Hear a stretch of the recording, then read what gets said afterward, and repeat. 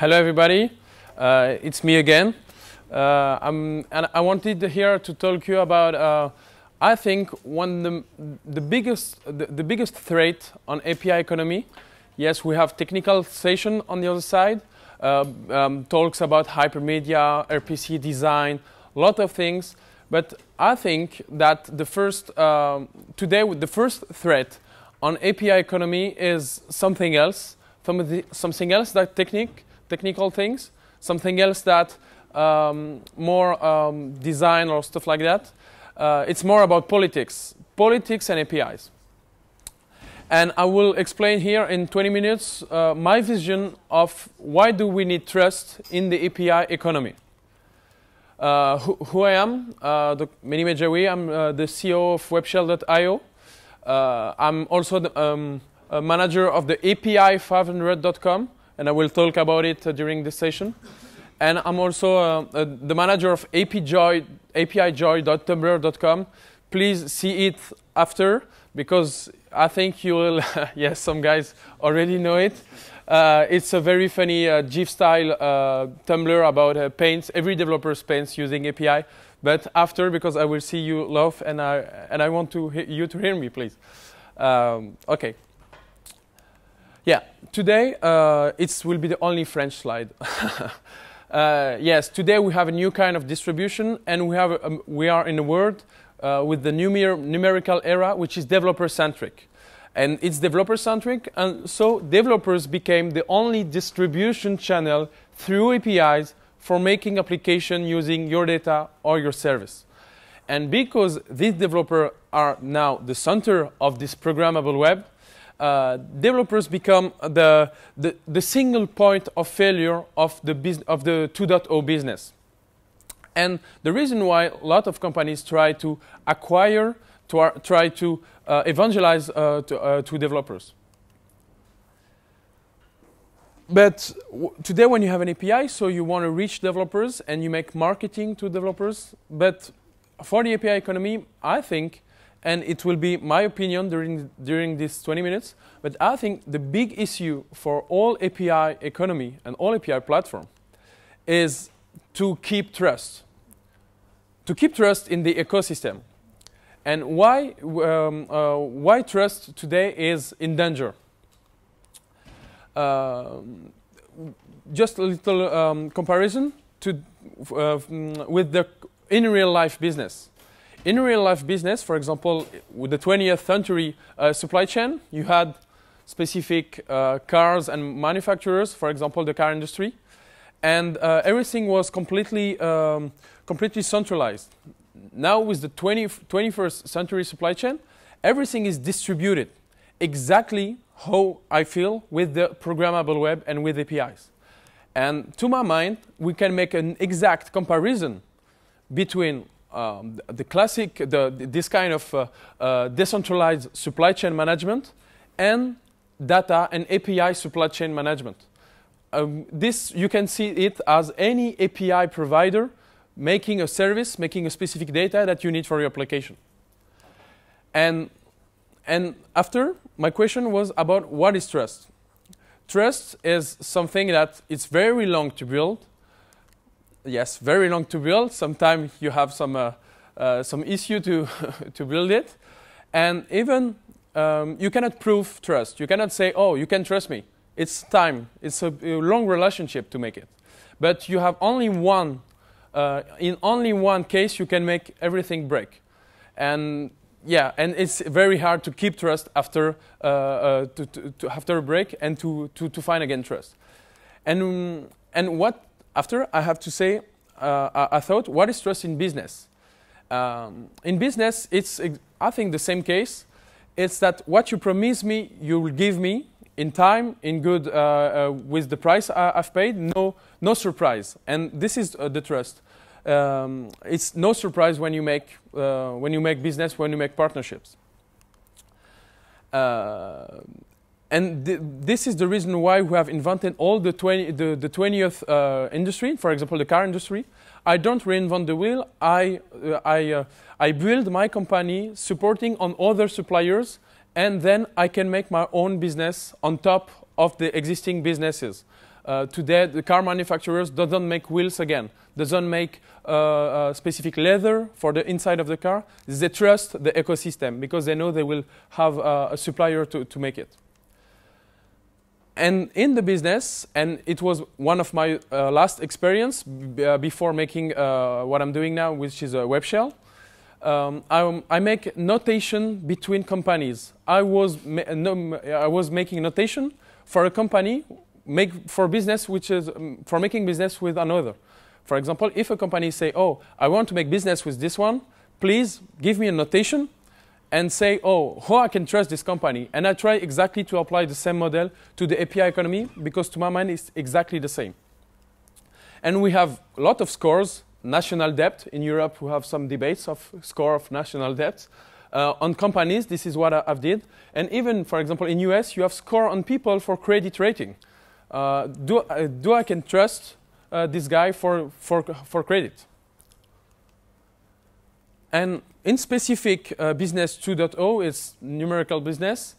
I think it's exactly the same. Trust is that the data or the service you promise me, you'll give me. It's exactly the same.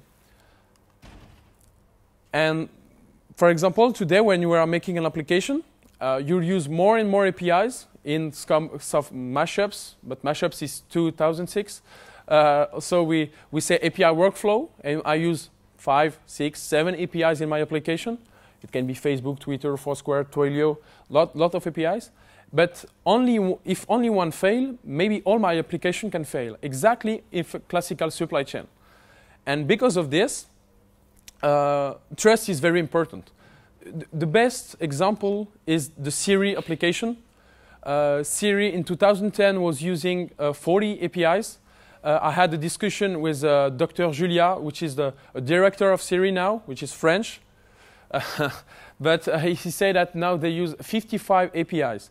And he told me that it was a mess to have a supply chain management of services with 55 APIs then it's the reason why uh, uh, Apple has to buy Siri and to make exclusive partnerships service with service providers, uh, with data providers, for be sure that the application will, will, will be always uh, reliable and will always work. And, uh, and so it was uh, in the Apple case that everything has to work every time. But even in this case, Siri sometimes is, still, is still debugging. So now I will explain the four threats on API economy which can break this trust at every time. The first one is the most technical. Uh, and because it's the most technical, I think it's the most uh, easy to uh, avoid. It's API changes. Yes, all in this room, you know that API changes, API are evolving because APIs are designed to face to new uh, challenges with developers and to be always uh, adapted to the, your ecosystem. And you know the, this, this picture, it's often, it, it arrives very often. Uh, and the three, um, three case uh, of it, uh, I, have just uh, um, put three case. One of the cases is Salesforce. Salesforce has um, no breaks since seven years, only updates, but the first version of the API is still working uh, now. Uh, some updates, yeah, three minutes updates per year, I think. But uh, Salesforce is one of the, of the, good players in keeping the API always reliable and stable. You have some, um, some APIs, for example, Facebook, change often. I said every two weeks, sometimes it's more, sometimes it's less. But one of the reasons is that Facebook has 7,000 versions live, different versions live, and he make competition between these versions and when a new version is uh, won the competition, uh, they change the API in this way. It's because they are improving each time the website, so they improve the API. They, they make the, the interface change. And one, and maybe for, for me it's the worst case, it's for example face.com. Face.com has been acquired by Facebook. But with this acquisition, uh, Facebook has cut the API with no, no, no warranty, no notification. Yes, we buy, we cut, and no issue like that. And in the startup economy, we see a lot of startups to say, in their for all questions part, they say, oh, if I'm bought by a big company, we ensure you that we will keep the API alive. But now it's very surprising to find this in a four question. The, the, the, the technical part, developers know it. We know that uh, software are evolving. We know there is always new versions, and we can understand it for APIs. But now, the three next parts I'm, I'm talking are more focused on juridical issue, legal issues, and it's the most difficult part to, to, uh, to avoid. Even that uh, um, uh, legal, legal things may sometimes uh, seems like code. It's strange lines finishing by commas, but um, as developer, I, I don't understand. I don't understand it. Yes, term of service. The, the, the biggest case is this year is the Twitter case. They changed uh, two years ago uh, uh, their API term of service. Now they change it this year very drastically. And, uh, and yes, it's a bad, bad signal for the API economy. And just an example, there was, uh, there is many, there was many manifestos about uh, the Twitter change, some developers manifesto. But in the, in the Silicon Valley, there was two investors manifesto who say that they will not invest anymore on company based on Twitter API. And uh, I have a GIF uh, on the apijoytumblr.com who is the, who made the buzz about uh, about it. Um, but yes, it's true that if I cannot tr uh, trust an, an, API provider, I cannot uh, I cannot make investors or any customer trust about my business. And this is was the case of, uh, of Twitter. And a few months ago, with Scaling there, we, we, we, we tried a first approach. Uh, the first approach is to follow um, a movement, which is uh, a, it was term of service didn't read. It was crowdsourced uh, term of service uh, um, analysis, and we tried to, we begin it to make uh, for uh, on API. It's it's live on API dot, um, API dash tos dash dr.info. But we, um, um, with tosdr.info, uh, we, we've seen that there, has, there are a lot of issues for gathering all the advices. So uh, we, try, we are waiting to see them, how they make it, then to make it for APIs. But we, we think we need um, uh, some initiative uh, on this way. The second step, uh, the second threat is API neutrality. It's it's a big term. I tried to explain it uh, following the net neutrality, network neutrality. And the network neutrality said three things, three main things. The first is non-discrimination to any third party. When you, have, when you are on, on internet or your telco provider, you cannot, uh, yes, you cannot, the pro, you, your provider cannot say, oh, I prefer you than you, so I cut you and, I uh, and you, I let you with a high uh, bandwidth. No, the network neutrality has been the most important thing on networks and on internet for making innovation possible.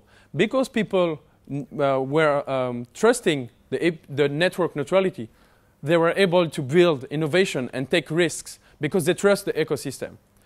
And th the first part of this trust was non-discrimination between third party. If I, I will be able to access to the network every time, I can trust and I can make, take risks and build innovat innovative things.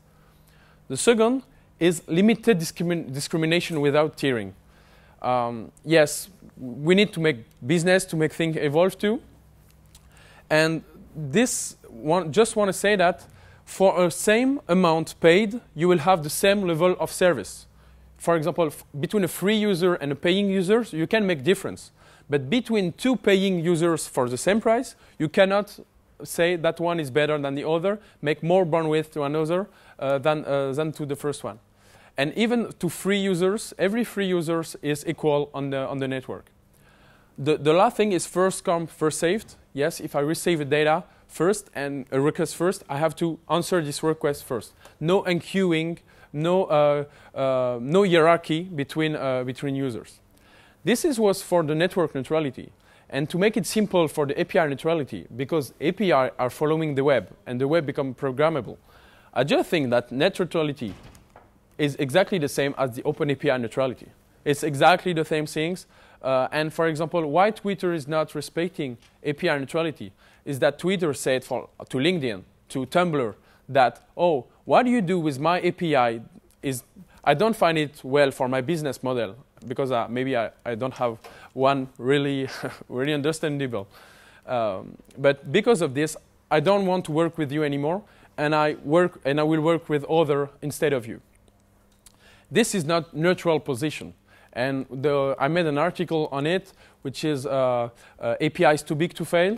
That because they are mainstream, because Twitter is the only provider of tweets, he he comes he, he came. Um, he can become to be not neutral and we're still using it because Twitter is the only provider of tweets. But it's kind of antitrust, exactly as antitrust behavior, exactly as Microsoft in 1998 with uh, Windows and uh, uh, Internet Explorer. And the case was that uh, Microsoft, because Microsoft was a mainstream platform with Windows, he had to be neutral with every application built on it. And my question today is, does Twitter or does Facebook does mainstream platforms has to be neutral on top of them and let every application build on it because they are mainstream. They already won the match. And I, I'm, uh, I worked with a, a, pyramid of needs. Oh, there is a first step there, which is basic access, because I've seen FTP APIs. Yes, it's true that some providers, when you ask them for an API, they send you a FTP link. It's a first step, yes, of, uh, to be open. Uh, but then, after basic access, I've made a, a second step, which is consistency. Yes, uh, is the API some reliable? Is some architecture, SOAP, REST? Uh, and um, after API design, yes, it's better when it is REST JSON, uh, when you have uh, exploration console and the building bricks of uh, Kin are very good for that, for the uh, how to de well design an API for developers uh, and for example URLs and all the stuff like that. Then the step or the step beyond is policy. Does the policy of the API I use is well for my business? Is the business model is viable? Uh, the question is, is a free API is completely reliable for a company which, uh, which doesn't uh, earn money yet? Yeah, it's, it's a good question because it's the case of Twitter uh, trying to find their business model, they, they, they cut uh, some, some companies. for example, Twilio has a pay-as-you-go business model, and it's better for the, eco the, ecosystem because you know that every dollar has the same value. So if I pay the service, it's, uh, I trust the service, and everybody can trust the service uh, on it. And confidence, confidence is the way that you trust in the company making it. Uh, for example, when Google launch an API, sometimes you can trust Google that he will uh, keep the API uh, alive. And for example, on Google Term of Services, every deprecated API uh, will be um, still alive until 2015. Also, it's a long time deprecation, and, and they, uh, they, enforce it in their uh, terms of conditions. Then on top of it is neutrality neutrality is not, uh, um, it's very hard in business to be neutral. You always have specific conditions, but it's a pattern to follow and to say that, yes, you, you, you will be neutral against, uh, um, uh, towards every user uh, if they respect, if they respect your, your business too. And for, to my mind, the last, the last threads, it's the, the most recent one, is the copyright. Yes, this year we have heard about the copyright of APIs. And the case, uh, the case is a little, very legal thing, but uh, I wanted to, to explain it. Um, what we, copyright between Europe and the US are not exactly the same, but follow the same patterns. Um, I can copyright what is a custom creation of my mind. Uh, and written or drawed, it's, it's, it's the same. But what I cannot copyright, it's some kind of lists, some kind of something which is not uh, completely custom. Uh, the example is the yellow page. Yellow page, for example. It's a list of numbers, of uh, numbers and names uh, ranged by alphab alphabetical order. So there is no custom creation. Everybody would have made the same, uh, the, the same list with the same numbers and the same names. Also, there is no copyright on it. You cannot copyright something like that. But if I make the top 100 people I love uh, in this list, yes, I love a lot of people, uh, but the top, one, the top 100, it will be my list, and it will be, one, uh, it will be not another uh, person list. And this is the case of an API. And this is the case of API design. And we have API management solution there, API design specialists. And the question was during the case uh, of Oracle versus Google. Oracle said to Google, yes, you use my APIs and I, I don't, allow the, uh, I don't allow you uh, this because you infringe my copyright. Um, the question between the case was, what is API design? Is a design of an API is copyrightable? Uh, does a list of methods of URLs can be copyrightable?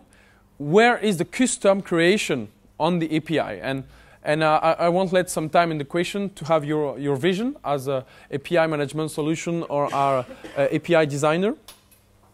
Uh, because the most the, the, um, the most the more design you make, uh, the more copyright you put you put in it, and it's exactly the, the maybe the issue we we, we have on the uh, API economy.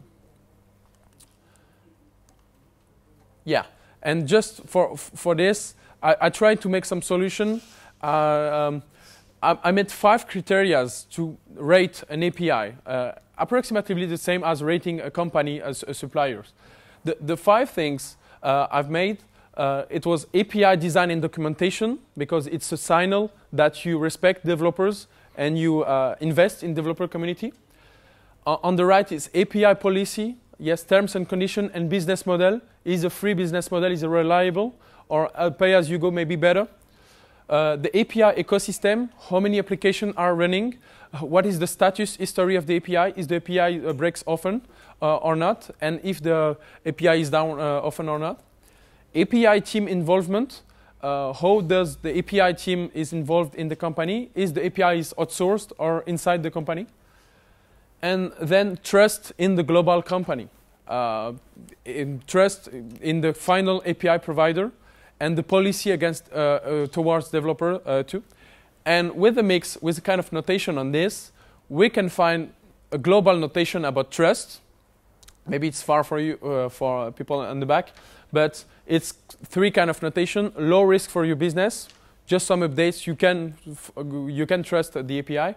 Uh, the risk, and then in orange, risk of perturbing your business. The API may breaks, terms conditions may change, and perturbs your business model, and you have to adapt strongly. And on C, it's risk of breaking your business. And that one day to another, your company will, doesn't have any business anymore because of, of, of the API.